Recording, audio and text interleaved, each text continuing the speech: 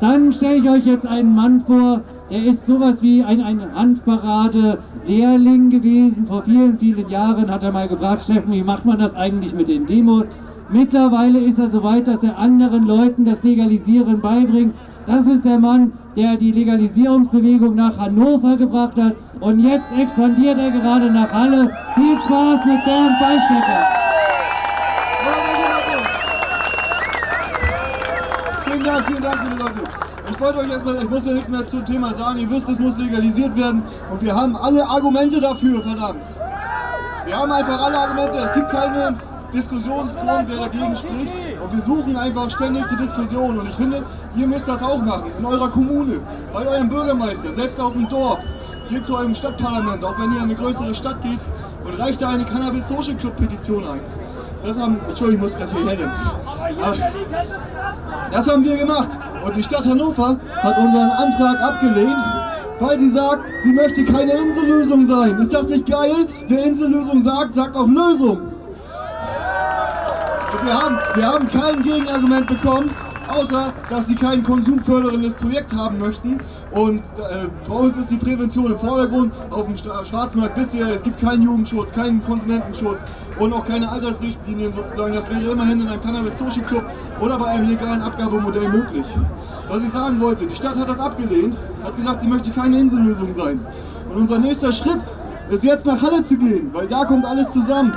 Es ist eine Kunstuniversitätsstadt, da geht es richtig ab. Wir haben jetzt drei Tage lang Infrastruktur aufgebaut, haben mittlerweile schon acht Bands, DJs, Sponsoren und so weiter und wir suchen noch viel mehr Netzwerkkontakte, um in Halle die Cannabis Social Club Projekte zusammenzubringen. Es gibt bundesweit so viele Cannabis Social Club Projekte und die müssen vernetzt werden, damit man als große geschlossene Städtegemeinschaft auf die Bundesregierung zugehen kann.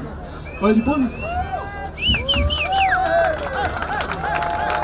Deswegen ist es umso wichtiger, dass jeder von euch erstmal in Halle ist, aber auch unabhängig davon bei seinem Bürgermeister, bei seinem Stadtrat eine Petition, die gibt beim Deutschen Handverband runterzuladen, eine Petition einreicht äh, für ein legales Abgabemodell. Und da kann man einen Cannabis Social Club vorschlagen. Die Stadt kann auch eine bessere Lösung bieten, aber das können sie nicht. Und da ist unsere Argumentationshoheit, sage ich nur. So, und, und da sucht die Diskussion. Ihr könnt sie nicht verlieren.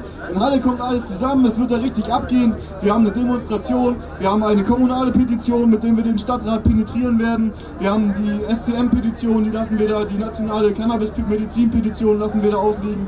Die europäische Petition lassen wir da ausliegen. Und diese drei Petitionen werden wir mit unserer Kampagne in Halle bewerben. Und unser Ziel ist, dass sich noch mehr Städte vernetzen und Cannabis Social Club-Initiativen bundesweit machen und nicht nur regional. Weil da gibt es keinen Ausweg.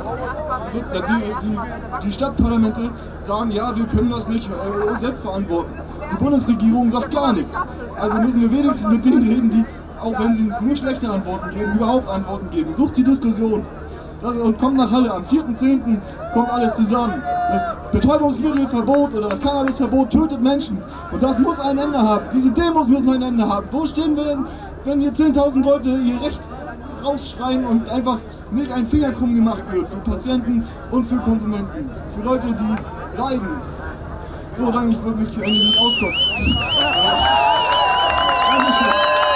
Kommt nach Halle, es geht richtig ab am 4.10. in Halle. Baut euch vorher in die Organisation ein, vernetzt euch mit uns, ihr findet uns auf Facebook und unsere Webseite ist auch bald wieder online. So, tschüss. Danke Bernd, ehemals Hannover, jetzt Ottmop in Halle. Viel Spaß da im Oktober.